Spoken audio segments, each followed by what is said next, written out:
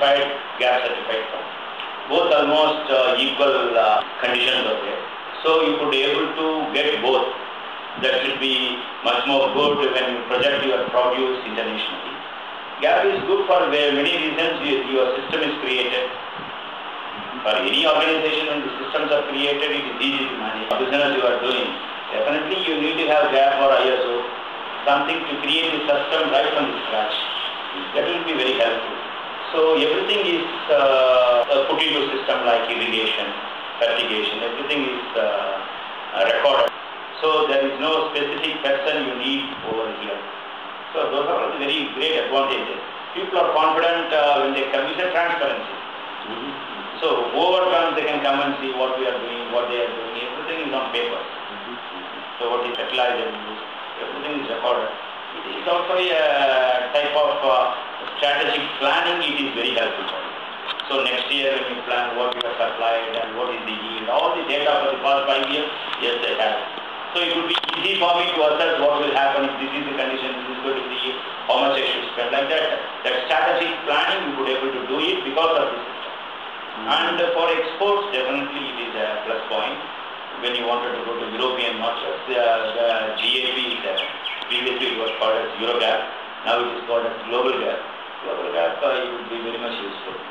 If things are recorded and this is, it is our own betterment we are doing, it is not, see, gap should be seen as your own system. Gap should not be seen as some system somebody is giving and we are going to follow like that. No.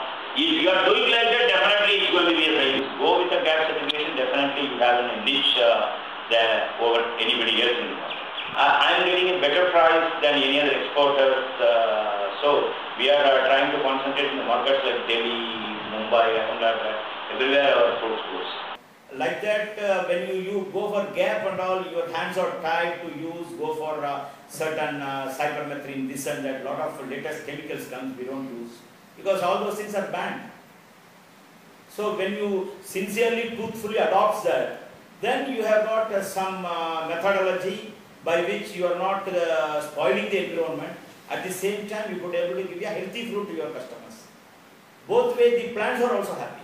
When you give lot of chemicals, this and that, you know, one particular stage, the trees also get per- perplexed.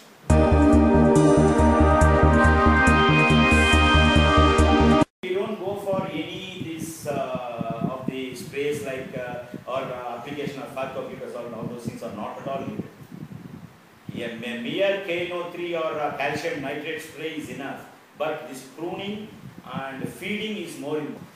They say it like that. And they, even in uh, Philippines and everywhere people use it. But it is not at all necessary. That inducement is not at all necessary. And even sometimes it is not responding because a lot of other factors that uh, induce flowers. Sometimes it comes and sometimes it also gets failed. But my, to my observations with the plant and proper feed, these things you can